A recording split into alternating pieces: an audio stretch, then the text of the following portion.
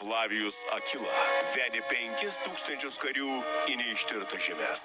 Open the gates! Tačiau ne vienas iš jų negrįžo namo.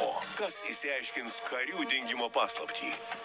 Juosta 9 legiono erelis. Antradienį 10 vakare per TV3.